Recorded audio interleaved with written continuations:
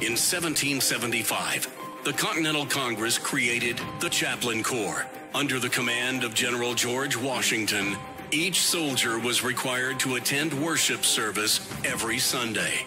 While other armies advanced on their feet, Washington's troops advanced on their knees. It's time for the Chaplain's Report with Caleb Colquitt on tactics.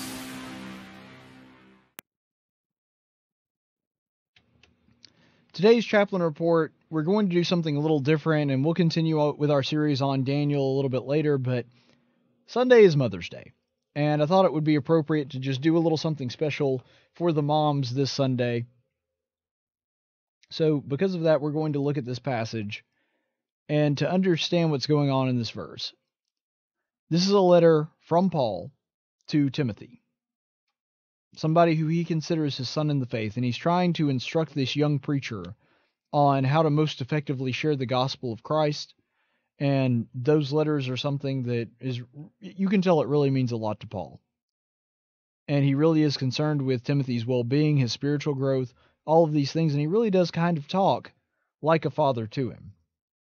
And there's this really beautiful passage in the first chapter of his second book in, in 2 Timothy 1 verses 5 through uh, 5 through 6 here. If I can ever get it pulled up. There we go. For I am mindful of the sincere faith within you, which first dwelt in your grandmother Lois and your mother Eunice, and I am sure that it is in you as well. For this reason, I remind you to kindle afresh the gift of God, which is in you through the laying on of my hands. One thing that's so great about that passage there is it really is Paul admonishing the good work that Timothy's mother and grandmother did in shaping who he is as a man. Now, there's a couple things to note here. First of all, there are people without a strong foundation of faith. A lot of them. There are a lot of people that did not grow up in an, an ideal environment and we don't know a whole lot about Timothy's family situation other than what we read here in the scripture. Since we know that he was half Greek and it seems as though his mother is Jewish, well, we can kind of assume that the dad was Greek at that point. But we don't see a whole lot of information on him, but we do know about his mom. And we do know that his mom was somebody that was strong in the faith and that her mother raised her in such a way that she was strong in the faith. And because of that, she raised Timothy in a way that was conducive for him becoming a strong Christian as well. And that's an important point here because faith can't be inherited, but it can be passed on. And that may seem contradictory, but here's what I mean. You don't inherit it like you inherit something in the bloodstream. Faith is not a trait that you can pass on to your children genetically that you can force upon them, but it can be passed on in the sense like a family heirloom.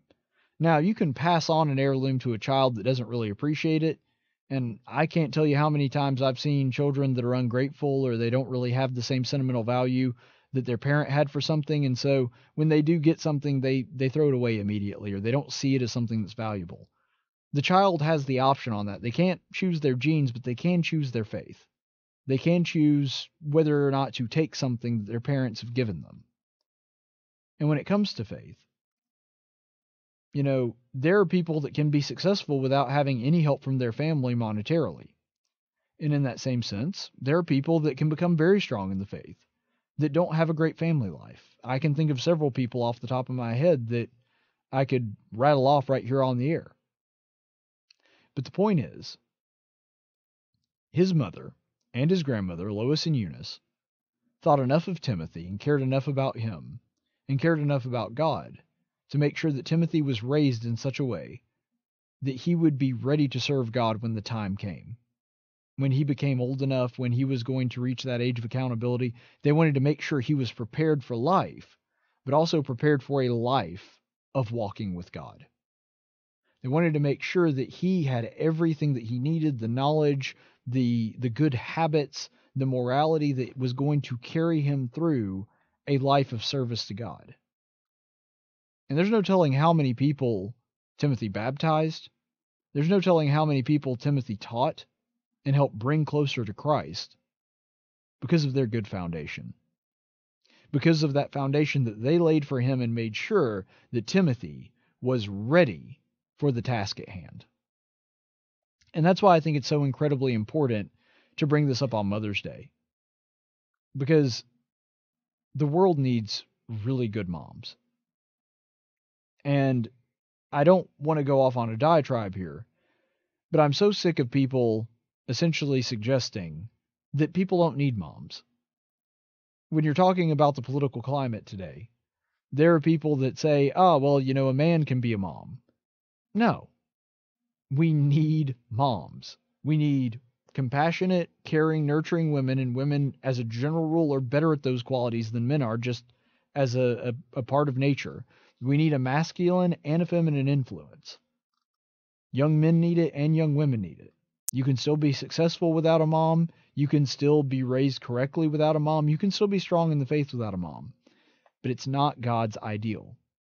God always understood how important the mother's role is in the family, and that's why he designed human beings in such a way that his ideal is a mother and a father married to one another for life, raising children. And because of that, if we were just to follow God's model, I know that it can't always be followed perfect. Some people pass away, you know, unfortunate events happen. I understand that life isn't always the ideal. I get that. But what I'm saying is if this country had more good moms that did stuff like Lois and Eunice and followed in their example and made sure that their kids had this strong foundation of faith to get live godly lives, don't you think this country would be a lot better? Don't you think this country would have a lot of the problems that we're having with drugs and crime and all the other things that we have that are, are real issues that are a sickness on society. Don't you believe that if we had some moms that were doing what they were doing, because not all the time when, when people engage in those activities is because they didn't have a good mom, but a lot of times it is. They either didn't have a good mom or a good dad, and, and the absence of either one of those can be detrimental to a child. And so, because of that, I want us to really stand here and appreciate the work that a lot of our great moms do.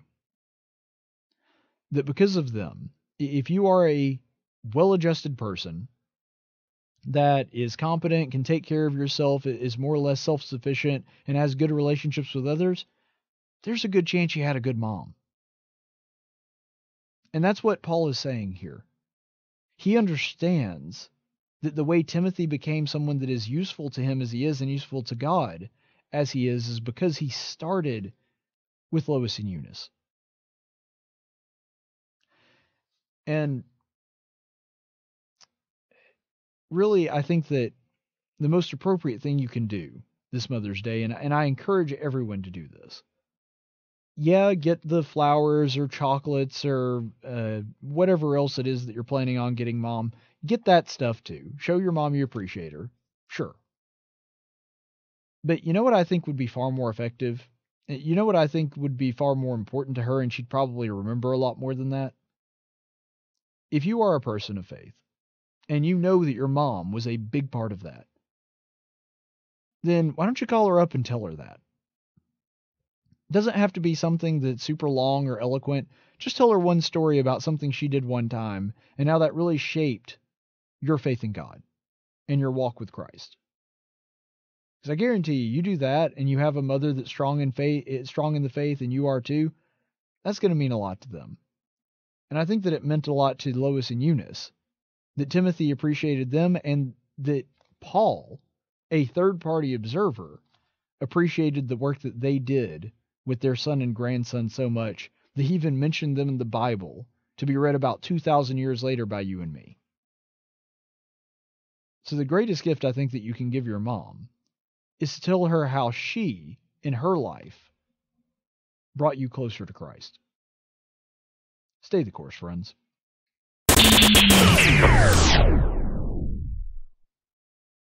Now, I know you're here because you're interested in information on what's going on in the state of Alabama and around the world, and you've come to the right place for that. But it's YouTube, so you could also just be here because you're bored. If you want me to keep making videos to keep you occupied, you need to go ahead and like and subscribe. Otherwise, you're going to have to go back to playing Minesweeper.